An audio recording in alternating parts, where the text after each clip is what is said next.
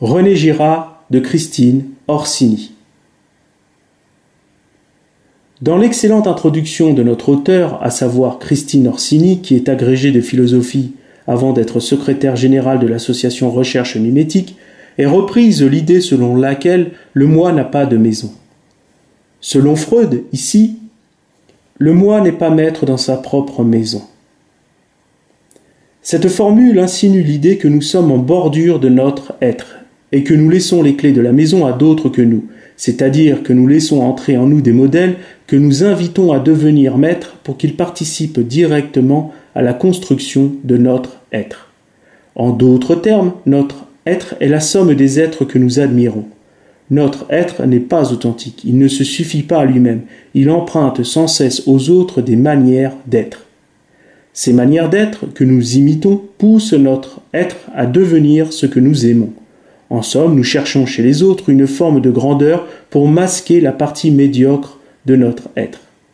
De ce point de vue, le regard de Christine Orsini, ici à gauche, sur René Girard, ici à droite, va nous être profitable. Pour rappel, ce dernier, à qui l'on doit un bon nombre d'ouvrages fondamentaux sur les mécanismes comportementaux, a longuement travaillé sur les effets concentrationnaires de l'imitation. L'intuition du désir mimétique a donc poussé René Girard sur le chemin de la conversion et parallèlement le mécanisme victimaire l'a mené intellectuellement au pied de la croix par la compréhension scientifique de l'exigence sacrificielle qui met fin au désordre en réconciliant les hommes. Page 21. L'épisode de la Passion du Christ est fondamental. Pour René Girard, le Christ est la pierre angulaire de cette recherche parce qu'il révèle ce mécanisme qui apaise la communauté tout en dévoilant l'inconscience du bourreau qui ne sait pas qu'il tue un innocent. Page 28. Cet aveuglement est encore très présent à notre époque. Les sociétés démocratiques modernes, pour se débarrasser de cet aveuglement, ont aboli, au risque de tuer un innocent, la peine de mort. Toutefois, en s'étant écartées volontairement du christianisme, elles ont replongé dans cet aveuglement en condamnant à mort les plus innocents d'entre nous, à savoir les enfants à naître. Le fait de légaliser l'avortement les place dans une situation morale inconsciente intenable. Elles sont contaminées par le mal qu'elles prétendent enrayer. Page 65 parce qu'en accusant l'enfant à naître, c'est-à-dire en l'accusant de nuire à la liberté de la mère, elles engendrent elles-mêmes la violence en le sacrifiant. C'est pourquoi la violence demeure parce que le vrai coupable n'est pas trouvé. L'enfant à naître ne peut pas être coupable. C'est un coupable de substitution qui permet au pro-avortement de cacher le mal qui réside en eux, à savoir la volonté de tuer l'innocent. L'enfant à naître est le bouc émissaire, ce qui signifie qu'il prend pour les autres. Page 72. La méconnaissance du mal avec un grand M entraîne une confusion qui fait que ceux qui en sont atteints pensent faire le bien en faisant le mal. Et dans cette histoire, le corps médical, qui est censé préserver la vie, sert de bourreau et de sacrificateur afin d'empêcher la collectivité de sombrer dans la culpabilité. C'est un sacrifice sanitaire, donc propre entre guillemets. Un article du journal présent, ici, met en relief cet aspect en révélant que les sociétés modernes tendent vers la légalisation de l'avortement jusqu'à 9 mois, d'où le titre de l'article L'infanticide à visage humain. Les choses se font petit à petit. On limite d'abord l'avortement à quelques semaines, puis progressivement on augmente le nombre de semaines afin d'arriver à 9 mois. Cette méthode facilite l'adhésion de la collectivité qui a fini par oublier que c'est un être humain en formation qui est éliminé. On en revient à cette inconscience du bourreau qui ne sait pas que c'est un innocent qui est sacrifié. Les défenseurs de l'avortement sont en réalité mus par un besoin sacrificiel puissant. Ce massacre des innocents, opéré par des Hérodes et des Caïens du quotidien, reprimitive la société et l'entraîne dans le néant des âges passés, parce que ces Hérodes et ces Caïens sont des opposants au Christ, c'est-à-dire qu'ils ne tolèrent pas l'innocence, ils ne tolèrent pas le bien, ils participent activement à ce que Jean-Paul II avait nommé la culture de mort. Beaucoup de ceux qui approuvent l'avortement ne mesurent pas l'horreur qu'il représente. Ils se cachent derrière un droit civique idéalisé qui veille à ne jamais se montrer tel qu'il est, c'est-à-dire en ne dévoilant pas le corps sans vie de l'enfant à naître. Mais si c'était le cas, ces images, pour des personnes normalement constituées, provoqueraient dégoût, remise en question et rejet. Mais comme ce sacrifice sanglant est soigneusement caché, il ne peut donc y avoir irruption de la vérité. C'est cette chair du réel qui est absente de tout débat sur l'avortement. Le sujet est restreint au seul droit civique.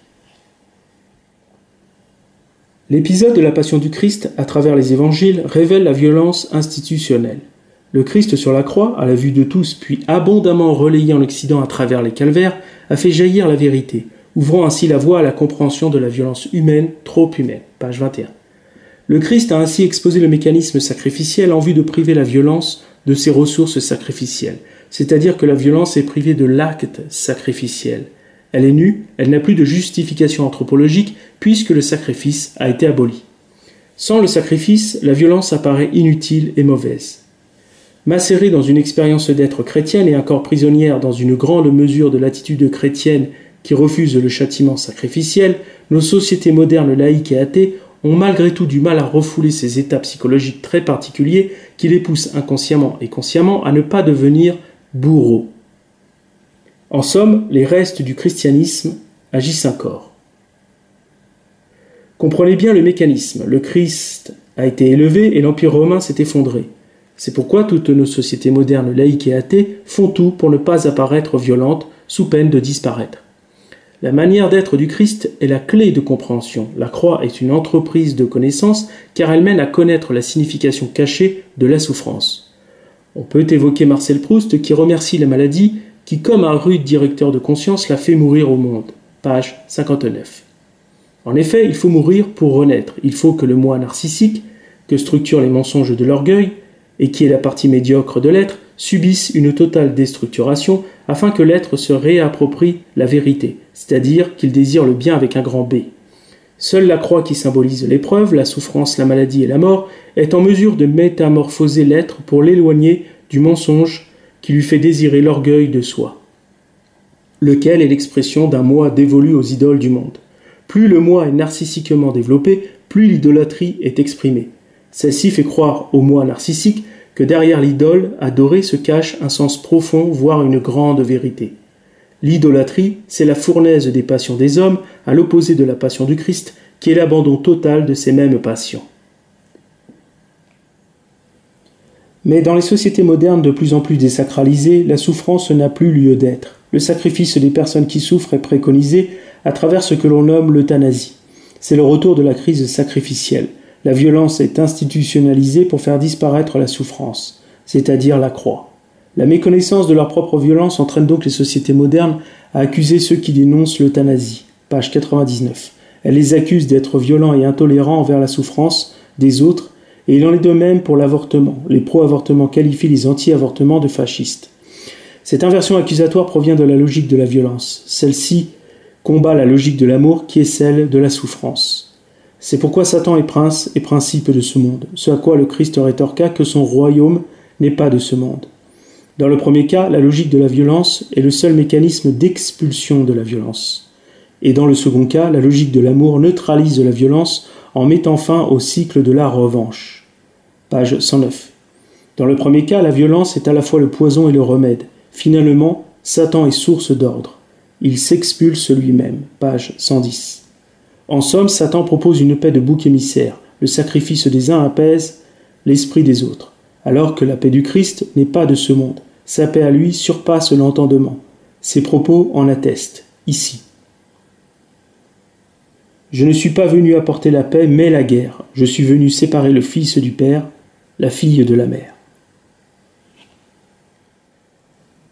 Cette phrase aussi étonnante que mystérieuse révèle le principe du monde. En réalité, le Christ montre que la violence est inhérente au monde. Les hommes cherchent la seule paix qu'ils connaissent, à savoir celle du monde, et celle-ci exige la guerre. La locution latine ici, si vis pacem parabellum, c'est-à-dire si tu veux la paix, prépare la guerre, prouve que la paix et la guerre s'alimentent. C'est en ce sens que Satan est source d'ordre. Autrement dit, c'est toujours la violence qui maintient la violence en respect. Page 113. Si le Christ avait cherché la paix du monde, il aurait évité la croix en se réconciliant avec le monde.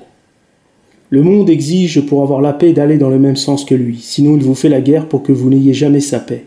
Il n'y a donc pas de limite à la manifestation de la violence. La paix que recherchent les hommes exige la guerre. L'officier et théoricien militaire prussien Karl von Clausewitz a souligné cet aspect. Le conquérant comme le défenseur font la guerre pour avoir la paix. Page 114. C'est une loi anthropologique que le Christ met à jour sur sa croix. L'épître de Paul parle de triomphe de la croix qui, à la face du monde, a donné en spectacle la violence institutionnalisée. Page 116. Dès lors, la croix est devenue le symbole sacré de la victime innocente, et le christianisme l'avocat des victimes. Cette nouvelle orientation de la conscience s'est implantée de nos jours dans tous les aspects de la vie sociale, politique, culturelle et économique, au point parfois que la défense des victimes offre le prétexte à la fabrication, voire à l'élimination d'autres victimes. C'est une manière pour le mal de se parer de vertu. En considérant certaines victimes, il en crée d'autres. Une victime choisie masque bien souvent une autre victime, sans que jamais cette dernière n'apparaisse comme telle. Voyez l'avortement, la mère apparaît comme une victime, tandis que l'enfant à naître est absolument inconsidéré.